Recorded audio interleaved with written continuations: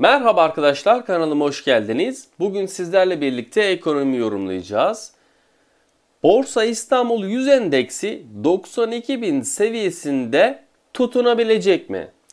Küresel piyasalarda koronavirüs salgını ve alınan tedbirlere ilişkin gelişmeler fiyatlamalar üzerinde etkili olurken dün Amerika Birleşik Devletleri'nde endeksler günü hafif değer kaybı ile tamamladı. Standard Poor's 500 endeksi %0.2, Dow Jones endeksi %0.1 ve Nasdaq endeksi %0.3 oranında değer kaybetti. Koronavirüs salgınının etkili olduğu Amerika Birleşik Devletleri'nin New York kentinde can kaybı 10 binleri aşarak ilk sıradaki yerini korumaya devam ediyor. Ancak bu sabah Amerika Birleşik Devletleri vadelilerinde bir miktar toparlanma hareketinin yaşandığı görülmekte. Avrupa tarafına bakacak olur isek İtalya ve İspanya'da yeni vaka sayıları görülse de bir önceki artış hızına göre bir miktar ivme kaybı yaşandığı görülüyor. Bu bilgilerin akabinde dün Borsa İstanbul 100 endeksinin de pozitif ayrışımını sürdürerek günü %0,34 artış ile 92.381 seviyesinden kapattığını gördük.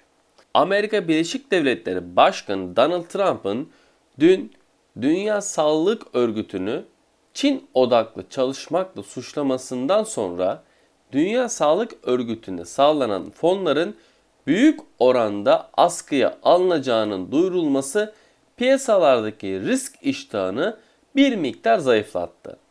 Yurt içinde ise gündemde bir miktar sakin iken dolar TL kritik olarak 6,75 seviyesi üzerine yerleşmesiyle Borsa İstanbul 100 endeksi üzerinde kur riski etkisi kazançları da bir miktar sınırlamış oldu. Bugün piyasalarda Amerika Birleşik Devletleri Merkez Bankası'nın yani Fed'in toplantı tutanakları takip edilecek.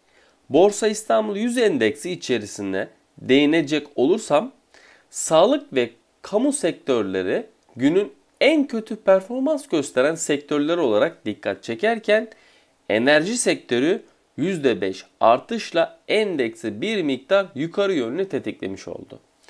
Bu yükseliş takip eden sektörler ile sanayi ve emlak sektörü olarak da dikkat çekti. Ancak genel hatlarıyla 11 sektörün 5'inde yaşanan satış baskısı ile endeksin oldukça hafif bir artışla gün sonunu kapadığını yaşadığını gördük hep birlikte.